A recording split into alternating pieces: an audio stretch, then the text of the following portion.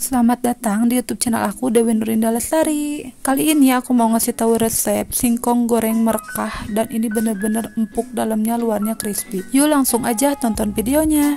Pertama-tama potong-potong dulu singkong kira-kira sepanjang 5 cm, kemudian kupas kulitnya lalu cuci sampai bersih. Setelah dicuci bersih, kemudian tiriskan. Setelah itu, siapkan air rendamannya dulu, yaitu kalian masukkan 5 gelas air ke wadah, atau kira-kira 1000 ml. Haluskan 3 siung bawang putih. Masukkan bawang putih yang sudah dihaluskan ke dalam air yang tadi, 1 sendok makan garam, 1 saset kaldu ayam bubuk, dan 1 sendok teh soda kue, kemudian aduk-aduk.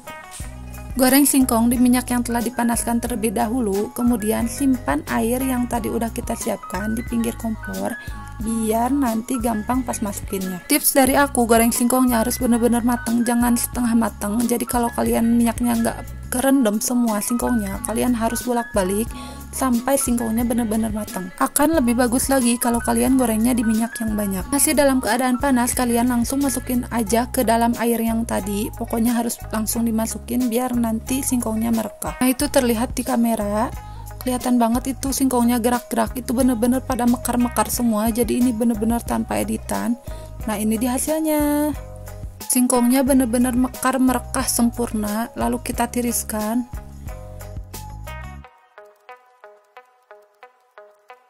Setelah ditiriskan, kemudian goreng yang kedua kali untuk menghasilkan tekstur yang crispy di luar dan lembut di dalam. Balikinnya perlahan aja, nanti kalau bagian luarnya udah crispy, udah agak kering, lalu kita angkat dan tiriskan.